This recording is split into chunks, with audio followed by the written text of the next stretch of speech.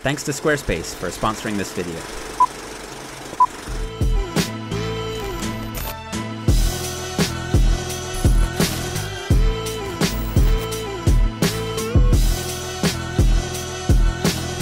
Okay, welcome everyone to a new episode of Myth Bust Monday. Uh, this Monday, we're going to be looking at the idea that breakfast is the most important meal of the day. Um, so, we'll look at the effect of skipping breakfast on weight loss, body composition, and just general health. Um, so first, where did the idea that breakfast is the most important meal come from? Uh, well, Good Health magazine uh, published an article in 1917 arguing outright that breakfast is the most important meal of the day and it shouldn't be eaten hurriedly and all the family should partake of it together. Of course, no actual scientific evidence was given to suggest why it might be so important, uh, but given that John Harvey Kellogg, the inventor of cornflakes, was an editor for Good Health at the time, probably had a lot to do with getting this idea out to the general public. Plus, I think in the absence of evidence, it does seem like a pretty logical stance to take. Um, as the argument goes, you want to eat food first thing in the morning to sort of get the nutrients and energy that your body needs to get your day started off right. Uh, but before we test this hypothesis against actual peer reviewed scientific literature, I think it's important to first clarify exactly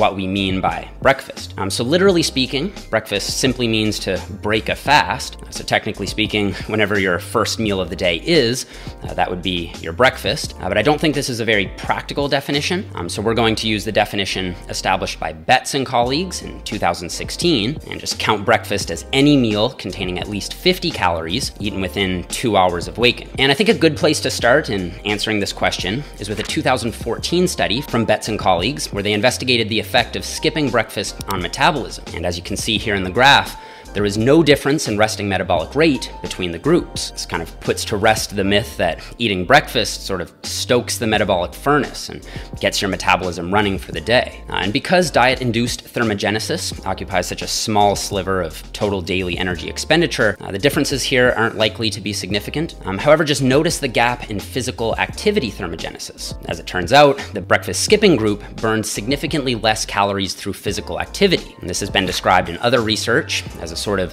compensatory feedback mechanism, where the body tries to defend against a perceived energy deficit from the fasting, or from breakfast skipping, by reducing physical activity. Uh, so, since breakfast eaters tend to burn more calories through physical activity, uh, on the face of it, this really does seem like a point for eating breakfast and a strike against uh, fasting, and it might be. Uh, but remember that this only covers the energy outside of the equation. We also need to look at what happens on the energy inside uh, when you skip breakfast. Um, so, in other words, does skipping breakfast cause you to overeat later in the day? Um, and the simple answer to this is yes, uh, but not enough to offset the deficit from actually skipping breakfast. Um, this same study from Betts et al. showed that when subjects skipped a 700 calorie breakfast, they only overate throughout the rest of the day by 161 calories on average. Um, so the skippers still ended up eating 539 calories less than the folks eating the full breakfast. Um, so now it seems like this is really a point scored for the breakfast skippers, um, but you need to remember that while breakfast skippers do tend to eat fewer calories, uh, they also tend to burn fewer calories. Uh, so on balance, there actually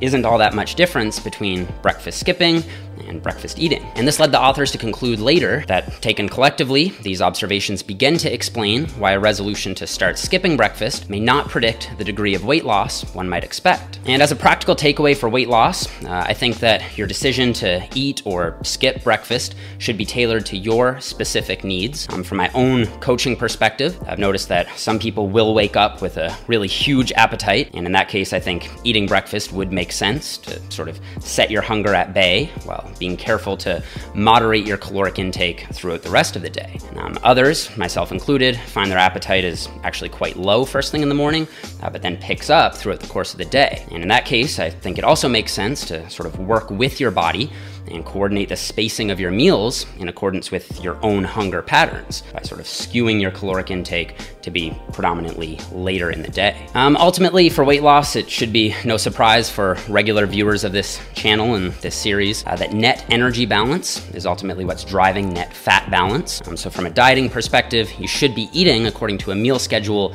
that allows you to adhere to and maintain a caloric deficit the best. Um, but that is just simple weight loss, after all. Uh, what about about muscle mass and body composition. Uh, well, in this case, there are two potential concerns that I think I'd have. Uh, while some folks really do seem to perform well in the gym while fasted, Uh, in my coaching experience, I would say that more people are stronger and more fatigue resistance when they've eaten some sort of pre workout meal. Um, and as mentioned in the Betts review, if your morning will involve physical exercise, with performance on that day being a priority, then consuming a carbohydrate rich breakfast is the most important meal.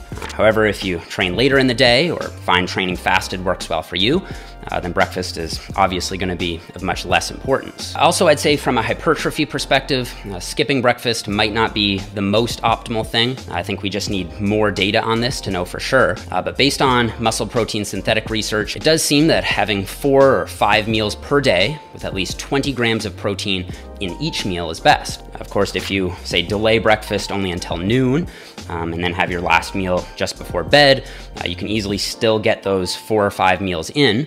Uh, but if you begin to delay breakfast further and further, sort of narrowing that eating window more and more, I think you do increase your risk of missing your sort of maximum potential for stimulating muscle protein synthesis. And granted, this is a developing area of research and there's a lot to cover here.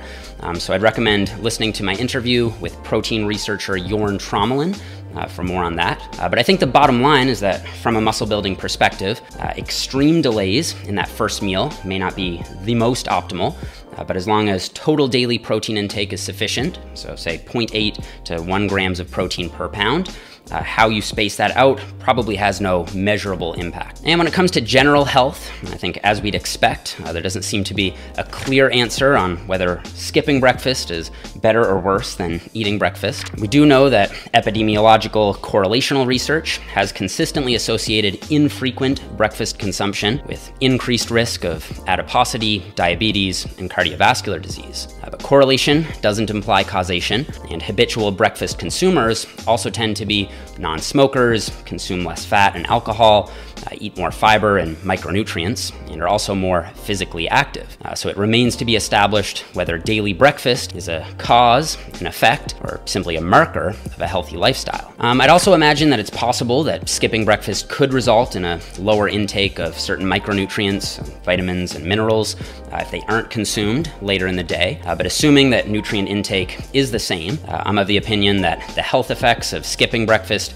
probably don't extend very far in either direction either negative or positive. Um, as a quick aside, I don't think I'd recommend that children or growing adolescents intentionally skip breakfast or any meal proper for that matter. And this is a recommendation mirrored by the Canadian Pediatric Society, which discourages teenagers from fasting and skipping meals. And this is, as I see it, to promote a healthy body image and encourage a diet that focuses on the inclusion of nutrient rich foods rather than the elimination of certain foods or meals or meal times. Uh, but with that exception aside, I think the idea that breakfast is the most important meal of the day is busted. Um, as a whole, the research seems to indicate that there's no difference in weight change change between breakfast eaters and breakfast skippers, and there hasn't been any really convincing evidence of any metabolic or health effects documented in the literature from eating breakfast. And research that does show evidence of reduced risk of diseases is confounded by other variables like subjects being more physically active and not smoking. And while I think the extreme delay of that first meal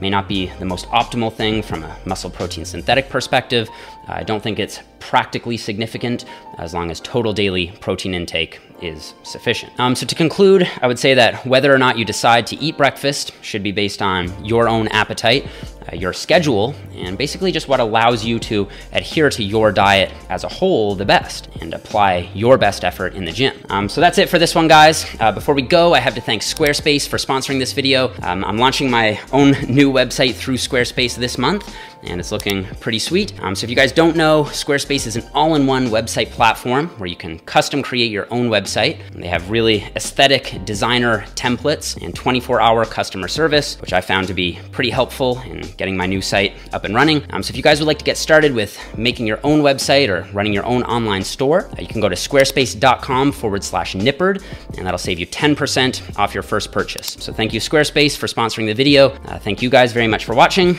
Uh, don't forget to subscribe subscribe if you happen to be new. Um, I've got a new vlog on the way here next Monday, and then I'll be back here again uh, with another Myth Bust Monday video on June 25th. Um, so I'll see you guys all then.